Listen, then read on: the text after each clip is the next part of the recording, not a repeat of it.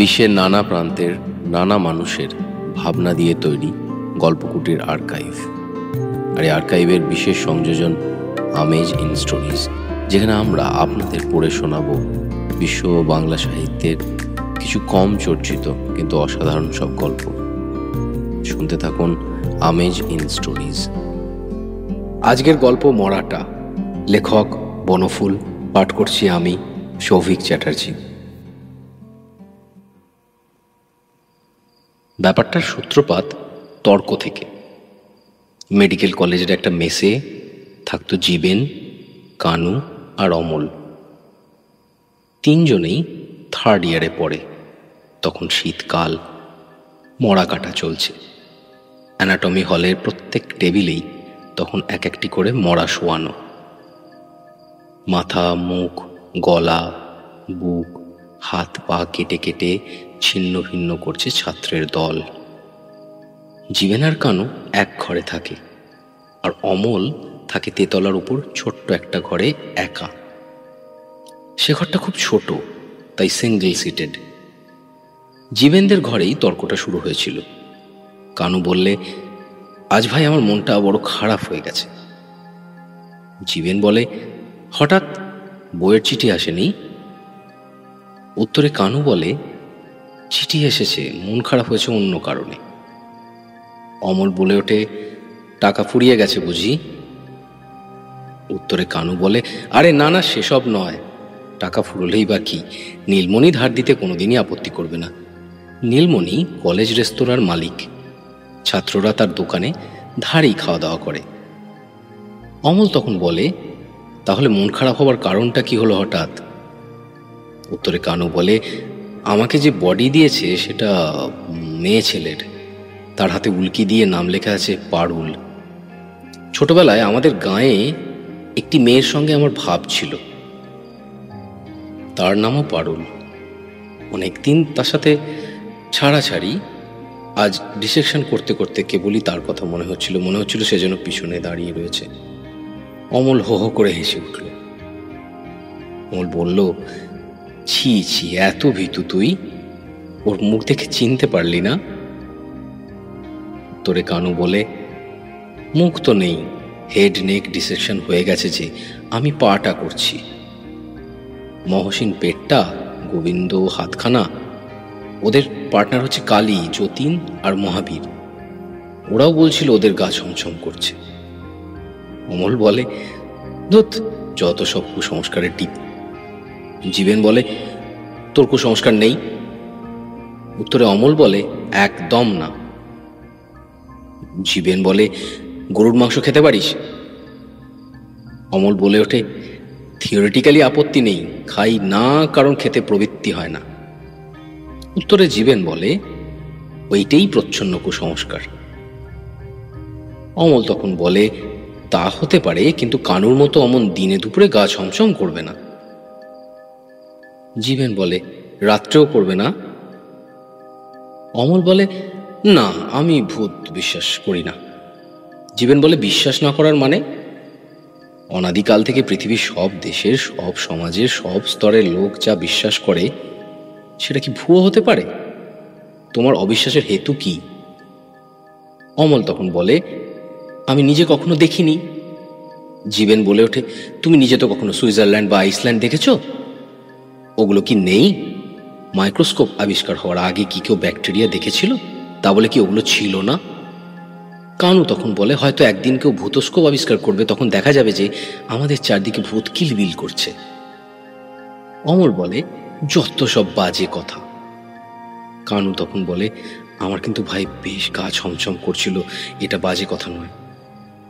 জীবেন বলে, আজ যে বডিটা এসেছে, দেখেছিস? কালো, মুস্কো, সন্ডা চেহারা, দুগাল ভর্তি কাঁচা পাকা দাড়ি, প্রকাণ্ড চোখ, দাঁতগুলো বেরিয়ে আছে, মনে হচ্ছে যেন হাসছে। ওটাকে দেখে আমারও কেমন গা ছমছম করছিল। ওটাতে কাদের পার্ট পড়বে কে জানে? মনে হয় ওর গায়ে ছুরি বসালে ও লাফিয়ে উঠে কামড়ে দেবে। বাবা, কি চেহারা! অমল তখন বলে, আমিও দেখেছি, আমার কিন্তু ভয় করে। মরা মরা, তাকে আবার ভয় কি? জীবেন তখন বলে রাত বারোটার সময় অন্ধকারে একা অ্যানাটমি হলে ঢুকে ওটার কপালে সিঁদুরে টিপ পরিয়ে দিয়ে আসতে পারো? অমল বলে, অনায়াসে পারি? জীবেন বলে কখনো পারবে না। অমল বলে, নিশ্চয়ই পারব। জীবেন তখন বলে, আমি বাজি রাখতে পারি। পারবে না। দিনের আলোয় বসে ওরকম লম্বাই চওড়ায় সবাই করতে পারে। অমল তখন বলে, বেশ। রাখো বাজি। কত দেবে? জীবেন বলে, দশ টাকা। অমল, বেশ। জীবেন তখন বলে, আজ রাত্রি বারোটার সময় আমরা তোমাকে মেস থেকে বার করে দেব। মুন্না ডোমকে দুটো টাকা দিলেই সে অ্যানাটমি হল খুলে দেবে। তাকে বলে রাখব আমি। আমাকে সে খুব খাতির করে। তুমি কিন্তু কোনো আলো বা টর্চ নিয়ে যেতে পারবে না। অন্ধকারে হলের ভিতর ঢুকতে হবে। টেবিলটা কোথায় আছে তা আন্দাজ করে নিতে পারবে আশা করি। প্রসেক্টরের ঘরের সামনেই। রাজি তো? মোর বলে, রাজি? সেদিন সন্ধেবেলা জীবনের মেশে থাকা হলো না। তার বোনের বাড়ি থেকে নিমন্ত্রণ এলো। রাত্রে সেখানে খাওয়ার জন্য। ঠিক হলো, রাত্রি বারোটার পর কানুই অমলের সঙ্গে যাবে। কানু দূরে দাঁড়িয়ে থাকবে আর অমল ঢুকবে অ্যানাটমি হলে। ঘড়িতে অ্যালার্ম দিয়ে শুয়েছিল তারা বারোটার সময়। অ্যালার্ম বাজতেই উঠে পড়ল দুজনে। অমল সিঁদুর আর তেল আগেই গুলে রেখেছিল একটা শিশিতে। সেইটা নিয়ে বেরিয়ে পড়ল দুজনে। কানু দূরে দাঁড়িয়ে রইল, অমল চলে গেল অ্যানাটমি হলের দিকে। গিয়ে দেখল অ্যানাটমি হলে ঢুকবার কপারটা খোলা রয়েছে। চিবেন আগেই সে ব্যবস্থা করে রেখেছিল। প্রথমে ঢুকেই কিছু দেখতে পেল না সে। সব অন্ধকার। কিছুক্ষণ দাঁড়িয়ে রইল, ফুটফুট করে শব্দ হলো একটু।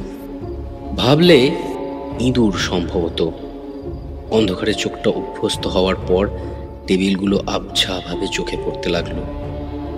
প্রসেক্টরের ঘরের সামনে টেবিলটাও চোখে পড়ল তার। আস্তে আস্তে এগিয়ে গেল। টেবিলটার কাছে এসে দাঁড়িয়ে রইল কয়েক মুহূর্ত। তার ডান হাতের তর্জনীর আঙুলটায় সিঁদুর মাখিয়ে মরার কপালে যেই সেটা লাগাতে যাবে, অমনি অপ্রত্যাশিত কাণ্ড হয়ে গেল একটা। মরাটা তাকে চাপটে ধরে সঙ্গে সঙ্গে চিৎকার করে উঠল, অমল, প্রায় সঙ্গে সঙ্গে আর একটা চিৎকারও শোনা গেল ভিন্ন কণ্ঠে। ছুটে গেল কানু আর মুন্না ডোম গিয়ে দেখল অমল অজ্ঞান হয়ে আছে আর জীবেন রক্তে ভাসছে। মরাটাকে টেবিল থেকে নামিয়ে দিয়ে জীবেনই শুয়েছিল টেবিলের উপর। মুন্নার সঙ্গে সর করে।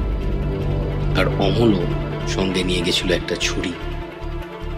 মুখে জলের ঝাপটা দিতে অমলের জ্ঞান ফিরে এলো।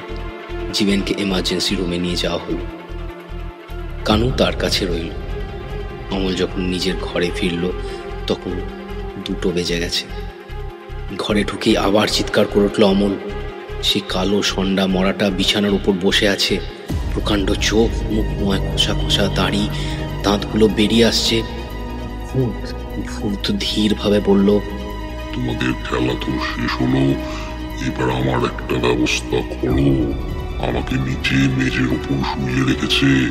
আমার বড্ড শীত করছে। অমল কিন্তু তার কথাগুলো শুনতে পেল না, কারণ সে অজ্ঞান হয়ে গিয়েছিল। গল্পটি প্রকাশিত হয়েছিল আঠাশে আগস্ট উনিশশো ষাট সালে। আনন্দবাজার পত্রিকার রবি বাসরীয়তে।